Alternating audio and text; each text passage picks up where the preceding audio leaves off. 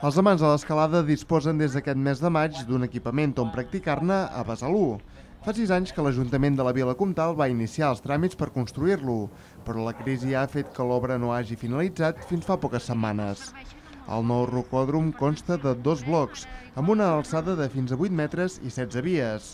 Està situat a la zona esportiva i, tot i que és municipal, el centre excursionista de Besalú n'assumirà la gestió i dinamització s'explicarà que qualsevol persona que vulgui accedir al, al rocòdrom ho pot fer, amb uns horaris i uns dies. Es tracta de, de, de fer una reserva eh, i d'accedir en, en l'espai degudament equipat i eh, es, pot, eh, es pot utilitzar a qualsevol edat, però els menors han d'anar acompanyats.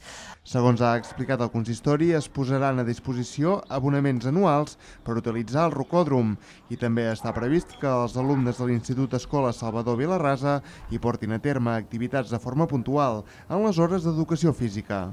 La instal·lació s'ha fet amb un pressupost de gairebé 10.000 euros, que s'han finançat entre l'Ajuntament, la Diputació i la Generalitat.